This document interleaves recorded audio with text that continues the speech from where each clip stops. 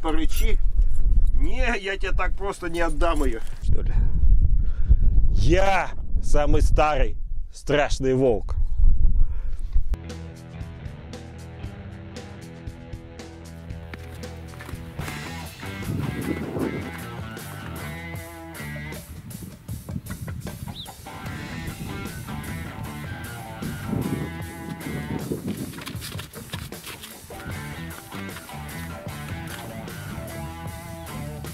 Вчера я только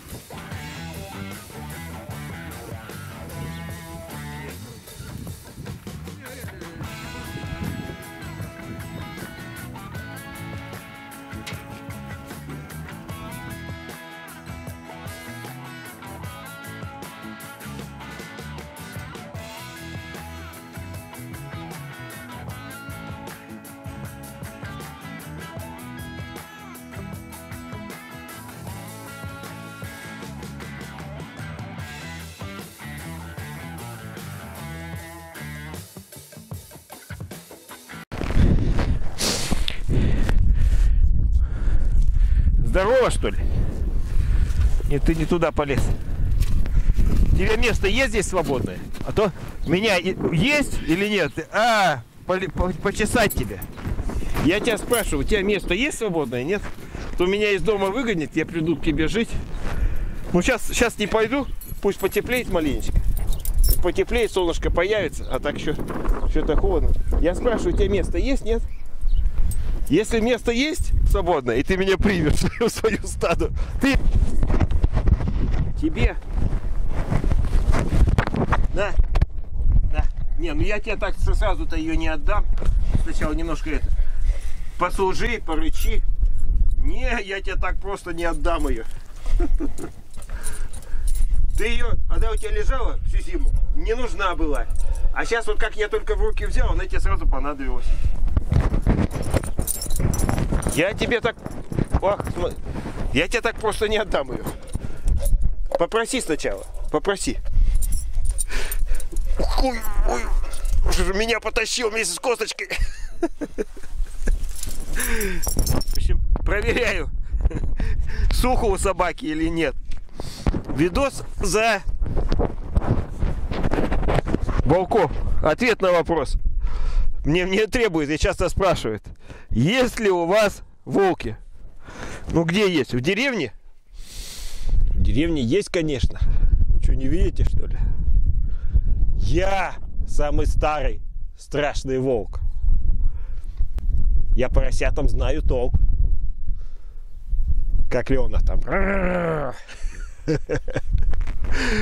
Ставим лайки или дизлайки, подписываемся на канал. А если по делу, по существу, вот показать по деревне не могу. У нас по деревне волков не бегает. Будет свободное время вот после обеда. Я выйду за деревню и покажу, покажу, какой у нас лес, какая у нас есть живность.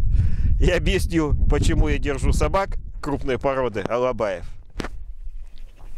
Где косточка? Ты что с косточкой вместе ушел? Иди ко мне поделимся, поделись со мной косточкой. Гектор, иди ко мне, говорю. Ты что, уже, уже спрятал косточку? Чего я тебе только одну косточку приносил, больше нету. Тихо, тихо, ты меня это. Только нос не разбей своим поросячьим рылом. Как тепло будет, я к тебе приду жить. Сегодня вакцинировали ставили, значит, эти, до этого ставили гельминтоз, проводили этим собакам, телятам, а сегодня делали прививки от бешенства, чтобы не сбесились. Ну все, тебя тут хорошо, я пойду домой, пока, пока что с дивана не выгнали, я, я посижу на диване. А в свободное время, как потеплеет, я приду к тебе. Ну, перчатка. Так моя перчатка, нам не нужна перчатка. Зачем ты перчатку мне выхватываешь? Ох, морда, ох, морда. Одному скучно, а здесь-то, конечно, вдвоем-то интереснее. Вдвоем-то, конечно, будет интереснее жить. Косточку ты куда дел? Я с тебе косточку принес. Ты куда дел косточку? А? Что такое? Почесать тебе. Ох, ох, собачья нервность. Дома? В квартире такую собаку держать никак нельзя.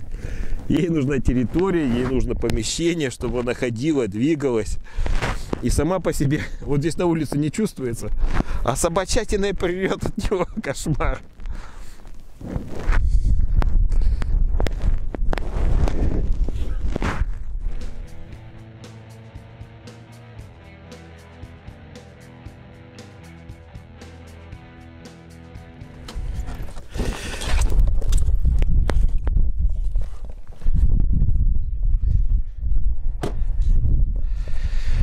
Дикого зверя.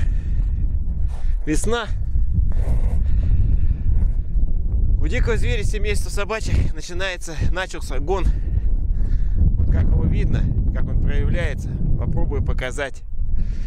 Но это не сегодня было, на днях. Два или три дня назад. Подъезжаем к деревне, а у нас село, вот когда едешь, э, к нему подъезжаешь, если посмотреть внимательно, будет видно, что село стоит э, Г, основные улицы буквой Г, а возле озера, вокруг озера. А вокруг село буквально опоясано лесным массивом. Это Западная Сибирь.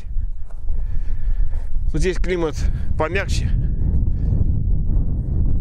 И лесной массив огромный, огромный. Вот с этой стороны местный лес, лесхоз делал рекультивацию. Была береза, березу убрали, посадили сосну. А с этой стороны, вот этой сосне, наверное, уже много, лет 50, еще в советские времена, лесхоз высадил сосну.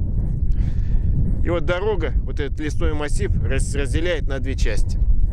К селу подъезжаем, я такой, ну, целый день работаешь, уставший, что такое, елки-палки. Жена мне еще говорит, смотри, смотри. Ну, пока успел, пока нацелился. Вот что успел там зацепить, то показать. Ну, гон.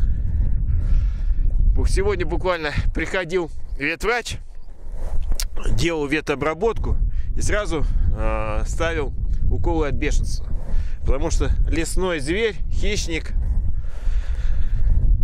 снега много, потеплело, у них гон, возможно, бешенство, чтобы предотвратить вот это вот э, опасное инфекционное заболевание бешенство, делают э, вакцинацию.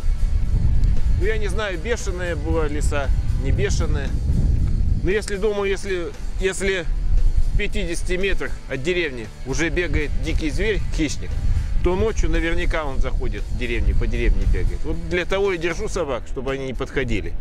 И сразу спрашивали, много раз уже спрашивали с разных регионов, и даже в ближайших, есть ли у вас волки.